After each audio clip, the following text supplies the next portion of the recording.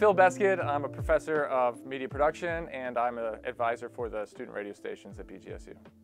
Awesome Audio is my YouTube channel. Uh, I like to post different things like educational items about uh, audio education basically, um, facts about audio production, audio engineering, um, but it's also a spot that I put um, submissions from student assignments uh, for future reference and as like examples for projects in my classes.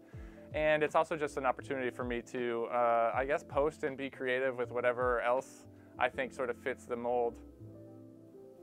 It started as, uh, well, I think I could be one of those guys that creates like online coursework and like charges a few bucks for it or whatever, because I already do that stuff, you know, in the professional sense, um, but in a more formalized situation.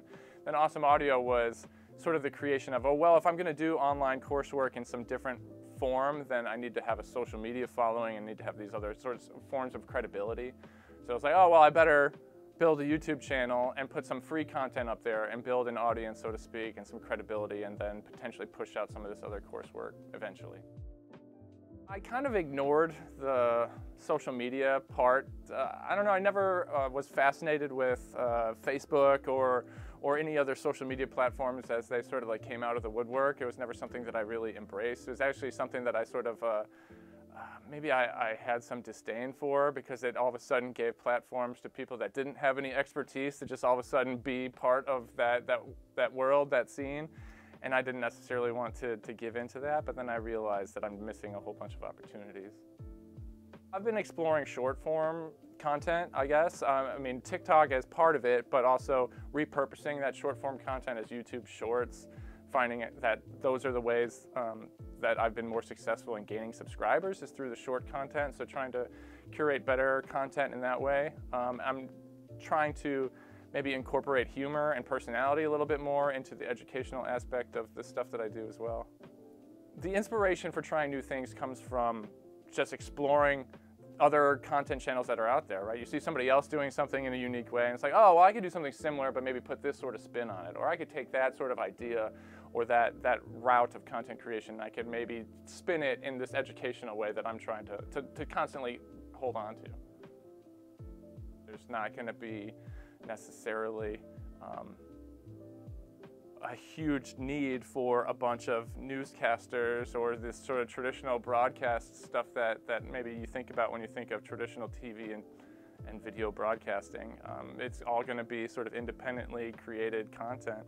And you can see, you know, just by looking at different YouTube channels, what's possible from a couple of people as opposed to these giant teams and huge sets and large pieces of equipment and stuff. You can do a lot with very little.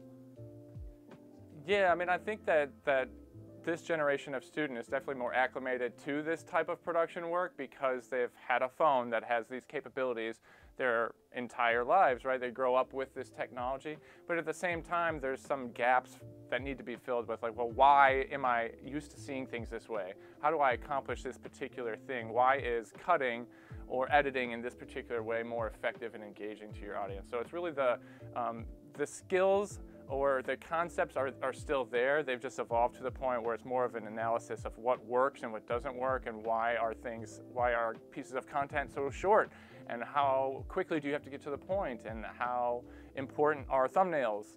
Uh, all that kind of different stuff that sort of evolved with um, the change from traditional broadcast content to more content creation online. It's to sound really cheesy, but it's been great to get students involved with this stuff. So I have students that contact me and say like, hey, are we going to do another awesome audio podcast? Like that was really fun or something. So that's like where uh, the payoff sort of is right now because it's not a channel that's monetized or really bringing in any extra financial situation for me. So it's more about sort of reinforcing what I'm already doing um, and making sure that students realize that, that they should be doing the same kind of thing. Like if I can do like what, what is happening here, you should certainly be using the, the skills and the concepts that we teach in like the classroom to be doing this type of stuff also.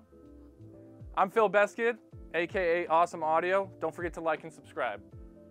It's absolutely crucial. I mean, there's, there's, no, there's no question about it.